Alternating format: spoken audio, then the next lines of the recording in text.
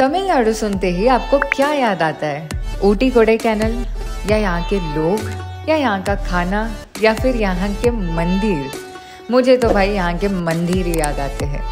तमिलनाडु के विशाल और भव्य मंदिर और बड़े से बड़े गोपुरम शायद ही भारत के दूसरे राज्य में आपको देखने मिले। तमिलनाडु अपने कल्चर और लोगों के परे टेंपल आर्ट और टेंपल इंजीनियरिंग के लिए काफ़ी प्रसिद्ध है। तमिलनाडु के इस आखिरी एपिसोड में मैं आपको तंजौर और कुंभकोणम शहर के तीन ऐसे मंदिरों में लेकर जा रही हूँ, जो सदियों पुराना तो है, पर इन रिसेंट टाइम्स में काफ़ी पॉपुलर हो रहा है। गुड मॉर्निंग दोस्तों। तमिलनाडु के आखिरी एपिसोड में आप सभी का स्वागत है। एंड आज एज यूजल देर से निकलकर हम पहले ही पेट पूजा करने आ चुके हैं। कुछ गर्मा गर्म नाश्ते के साथ आज का दिन शुरू किया जाए। स्पॉट हम लोग आए हैं गोविंदपुरम, जो आता है कुंभकोणम के रीजन में। तो गोविंदपुरम बेसिकली महाराष्ट्र के पंढरपुर जो है, श्री विठल रुक्मिणी मंदिर है यहाँ पे। उसका टाइमिंग्स और रेस्ट ऑफ़ द डिटेल्स मैं आपको दे देती हूँ। इट्स ट्वेल्व थर्टी नाउ और मंदिर का द्वार बारह बजे ही बंद हो जाता है। तो जब भी प्लान करो टाइमिंग्स एक बार गूगल में चेक कर लेना। हमारे जैसे प्लान बिल्कुल मत करना। वॉचमैन अंकल को आधे घंटे तक रिक्वेस्ट करते हुए देख फाइनली एक अंकल आए जिन्होंने हमें गौशाला देखने की परमिशन दे दी। हालाँकि मंदिर बंद हो गया है तो हम बस बाहर से ही दर्शन ले पाएँगे। गोविंदापुरम के इस मंदिर को श्री विठल रुक्मिणी संस्थान कहते हैं। 1998 में ब्रह्म श्री विठल दास जय कृष्ण दीक्षितर ने अपने नाम संकीर्तनम से जुटाए हुए डोनेशन से बांधा था। मंदिर के द्वार के दोनों साइड में आप संत तुकाराम के स्टैचूज देख सकते हो, जो विठल रुक्मिणी के बहुत बड़े भक्त हुआ करते थे। कहते हैं, मंदिर के अंदर विठल रुक्मिणी श्री कृष्ण संत तुकाराम और कई संत की स्टोरीज भी दीवारों में लिखी है। मंदिर के इस खूबसूरत से व्यू को आँखों में कैद कर हम चले गौशाला की ओर, जो इस मंदिर के प्रेमाइसेस में ही मौजूद है। यहाँ वेद पाठशाला है जहाँ कई बच्चे और बड़े लोग भी वेद सीखने आते हैं। कई बुज़ुर्ग लोग अपनी रिटायरमेंट लाइफ जीने भी यहाँ गोविंदापुरम में आके रह भी रहे हैं। भक्तों के लिए रहने की सुविधा भी यहाँ आपको मिलेगी जो बिल्कुल फ्री है। नीचे दिए गए इस वेबसाइट के थ्रू आप बुकिंग कर सकते हो। गौशाला की ओर जाते वक्त मैसिव कृष्णा के हाथों का ये स्ट्रक्चर एंट्रेंस में ही हमें दिखता है। ये स्ट्रक्चर स्पेसिफिकली इस जगह के खूबसूरती को दुगना बढ़ा रहा है। आगे बढ़ते ही दोनों राइट एंड लेफ़्ट साइड में गौशाला है और ठीक सामने भगवान विठल की मूर्ति भी है। इस पूरे गौशाला में 250 से भी ज़्यादा गाय है। भारत के कई राज्यों से गाय यहाँ लाए गए हैं, जिनकी सेवा यहाँ हर रोज़ होती है। इंटरेस्टिंगली हर गौशाला में हमें वॉलेंटियर्स दिखे जो सेवा कर रहे थे। गौशाला के ठीक बीचों बीच भगवान विठल की वारकरियों के साथ की ये मूर्ति आपको दिखेगी, जो बेहद खूबसूरत है। कुछ देर इस पीसफुल एनवायरनमेंट में बैठकर गोविंदापुरम से हम चले 40 किलोमीटर दूर वैदीश्वरन टेंपल की ओर। वैदीश्वरन मंदिर भी चार बजे ही खुलता है और हम साढ़े तीन बजे ही यहाँ पहुँच गए हैं। मंदिर भले चार बजे खुले, पर मंदिर के प्रिमाइसेस में आप आकर आराम भी कर सकते हो। वैदेश्वरन मंदिर में महादेव को वैद्यनाथर, यानी गॉड ऑफ़ हीलिंग के नाम से पूजा जाता है। इस मंदिर से काफ़ी हिस्ट्री जुड़ी है। कहते हैं वैदेश्वरन मंदिर को किसने बांधा था, कैसे बांधा और कब बांधा, इसका कोई ठोस सबूत नहीं है। मंदिर के अंदर ट्वेल्थ सेंचुरी के विक्रम चोला, सिक्सटीन सेंचुरी के नायक एटीन सेंचुरी के मराठास की हिस्ट्री इन दीवारों में लिखी है। टेंपल आर्किटेक्चर और टेंपल में लिखे गए हिस्ट्री से सिर्फ़ यही साबित होता है कि मंदिर ट्वेल्थ सेंचुरी से भी ज़्यादा पुराना है। मंदिर के अंदर सिद्धमीर्तम कुंड है जहाँ पहले भक्त नहाया करते थे, पर अभी यहाँ पर आप सिर्फ़ पैर ही भिगा सकते हो। वैदेश्वरन मंदिर, नाड़ी ज्योतिडम, यानी पाम लीफ मैनस्क्रिप्ट उस पर लिखी गई आपके लाइफ के बारे में हर एक चीज़ आप यहाँ पर जान सकते हो। टेंपल प्रीमाइसेस में आपको सैकड़ों दुकान दिखेंगे जो पाम लीफ मैनस्क्रिप्ट पे आपके लाइफ में प्रेजेंट से फ्यूचर के बारे में लिखी गई चीज़ें आपको पढ़ के दिखाएँगे। इफ़ इन केस आप क्यूरियस हो आपके फ्यूचर को लेकर तो you can visit this temple but a big red flag is palm leaf astrology काफ़ी गिफ्टेड और रेयर है, जिन्हें आज के दिन में बिज़नेस बना दिया गया है। और कई स्कैमर्स भी आपको इस फ़ील्ड में मिलेंगे। ठीक से रिसर्च करके फिर ही आप इसे ऑप्ट करना। वैदीश्वरन मंदिर में ऐसा माना जाता है कि शिव जी के इस वैदीश्वरन रूप की प्रार्थना से बीमारियाँ ठीक हो सकती है। काफ़ी लोग यहाँ मन्नत के दिए भी जलाते हैं।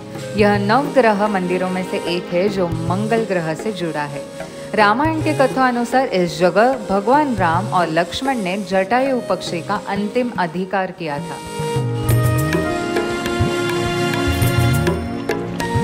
वैदेश्वरन मंदिर के पॉजिटिविटी को समेट कर हम निकले हमारी आखिरी स्पॉट पे दैट इज़ गंगई कोंडा चोलापुरम। आज पूरे दिन भर में धूप ने हमें काफ़ी परेशान कर दिया था। पर गंगई कोंडा चोलापुरम में एंटर करते ही बिल्कुल अलग क्लाइमेट हमें मिला। गाँव के छोटे रस्तों से क्लाउड बर्स्ट के मज़े उठाते हुए हम गंगई कोंडा चोलापुरम पहुँच गए।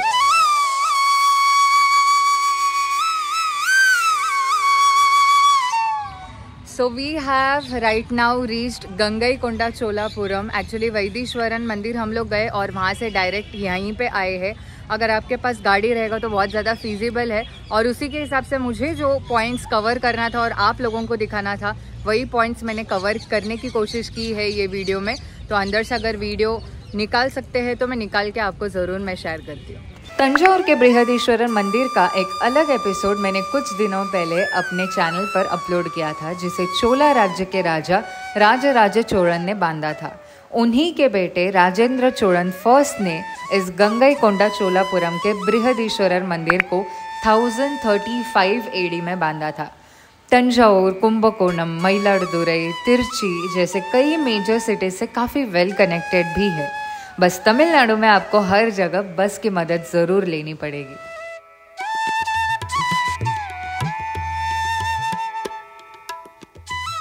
चोलापुरम के बृहदीश्वरर मंदिर तंजाउर के बृहदीश्वरर मंदिर से काफ़ी सिमिलर भी है और काफ़ी अलग भी। यूनेस्को वर्ल्ड हेरिटेज साइट ने 2004 में गंगई कोंडा चोलापुरम के इस मंदिर को भी ग्रेट लिविंग चोला टेम्पल्स का टाइटल दिया था। अंदर एंटर करते ही आपको दो मोनोलिथिक रॉक पिलर्स मिलेंगे। इस पॉइंट से गंगई कोंडा चोलापुरम मंदिर का ये व्यू काफ़ी स्पेक्टेकुलर लगता है। इन दो पिलर्स को क्रॉस करते ही आप इन स्क्वायर शेप्ड रॉक्स को देख सकते हो। इसे इस तरह से डिज़ाइन करने के पीछे का रीज़न तो मुझे नहीं पता, पर इस रॉक्स के कारण बीचों बीच बनाए मंदिर की खूबसूरती दुगनी ज़रूर हुई है।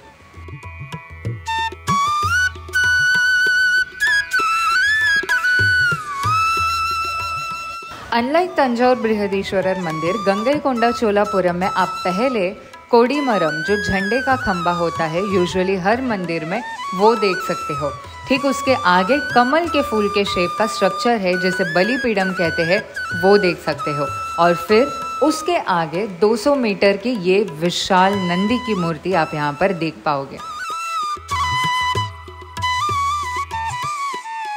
मंदिर के प्रवेश द्वार में दो द्वार पालकों के स्टैचूज है, जो लगभग सात से आठ फीट ऊँची है। मंदिर के ठीक इस पॉइंट से नंदी और इस मंदिर के तीनों फ्रंट साइड के व्यू बेहद खूबसूरत लगता है। मंदिर के अंदर फ़ोटो एंड वीडियोग्राफी अलाउड नहीं है, इसीलिए मैं बाहर से ही आपके दर्शन करवा रही हूँ।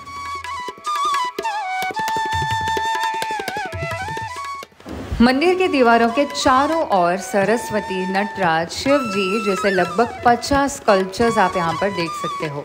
मंदिर का ये विमानम स्ट्रक्चर 180 फीट है, जिसे स्क्वायर शेप के बेस में बनाया गया है। तंजाउर और कुंभकोणम के बाउंड्री में तीन बड़े शिव टेम्पल्स है, जिसे चोला राज्य के दौरान चोला राजवंशजों ने ही बांधा था। एक तंजाउर का बृहदीश्वरर मंदिर है, दूसरा गंगई कोंडा चोलापुरम का ये बृहदीश्वरर मंदिर और तीसरा ऐरवतीश्वर धारासुरम टेंपल है। और तीनों मंदिरों में द्रविडियन स्टाइल ऑफ़ आर्किटेक्चर आप कॉमनली देख पाओगे। गंगई कोंडा चोलापुरम के इस मंदिर को राजेंद्र चोला फ़र्स्ट ने तमिल वास्तु और आगम शास्त्रा के मदद से बांधा था।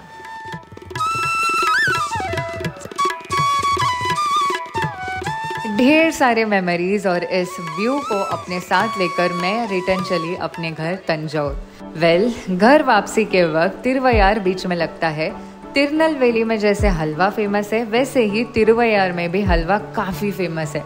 And my dad is a very big fan of Thiruvaiyaru Andavar halwa. ये अंकल पिछले 50 साल से इस बिज़नेस पे है and since day one customers को रिटेन करने का टेक्निक ये उनका दिलदार स्माइल है।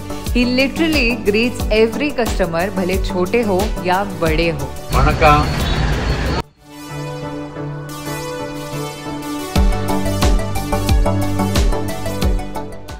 கடை எத்தனை வருஷத்துல ஆரம்பிச்சது?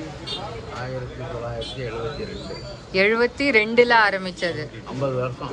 ஐம்பது வருஷம் ஆயிடுது ஸோ திருவையாறுல உங்களோட இதுதான் ஃபேமஸ் ஃபுல்லாவே பியோர் கீல பண்றீங்க.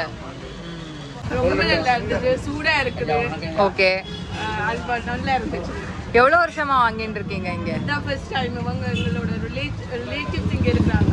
ஓகே ஸோ அவங்க ரெக்கமெண்ட் பண்ணாங்களா இதை அங்கிருந்து இது ஹல்வாக்காக வந்திருக்கீங்களா